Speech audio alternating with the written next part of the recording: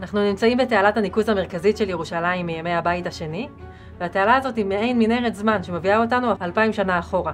אז אנחנו יורדים עכשיו 13 מטר מתחת לאדמה, במקום שבו נמצאת החפירה הנוכחית.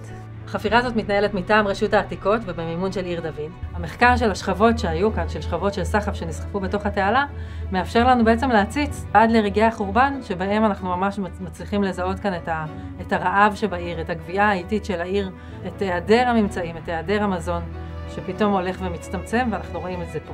כל האזור הזה בעצם עד הגובה הזה פחות או יותר היה מלא בשכבות של סחף.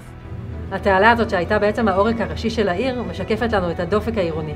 ככל שאנחנו יורדים בשכבות, הדופק דווקא עולה, ואנחנו יכולים לראות עושר של ממצאים, כלי חרס נדירים, כלי זכוכית קטנים ויפים, ואפילו הצצה לתפריט של תושבי ירושלים בימי הבית השני, שאנחנו מזהים אותו דרך זרעים קטנים שהתגלו כאן, של ירקות ופירות. יש כאן עושר כל כך גדול של מידע, שהבאנו לכאן את טובי המומחים ממעבדות שונות, כדי לבצע כאן בדיקות מעבדה ולגלות מה שבעין אנושית אנחנו לא יכולים לראות. חורף אחרי חורף, נסחפו לכאן שכבות והורבדו אחת על גבי השנייה, עד לשלב שבו בעצם העיר ננטשת, העיר אה, חרבה, ואנחנו ממש מזהים את השכבה העליונה של הנטישה בחלק העליון של השכבות האלה.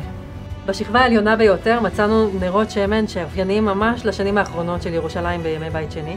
אחת האפשרויות שאנחנו מעלים היא שהנרות האלה ירדו בידיהם של המורדים שמצאו כאן מסתור. ממש מטרים ספורים מכאן, בחפירה שערך אלי שוקרון, התגלתה חרב רומית שהשתייכה גם כן לסיפור המסתור של המורדים פה בתעלה. זו חוויה לחפור במקום הזה, מתחת לאדמה בימים שלמעלה הכל סוער. התעלה הזאת נותנת איזושהי פרספקטיבה של זמן ושל היסטוריה ארוכה, וגם איזושהי תקווה לראות את האור בקצה המנהרה.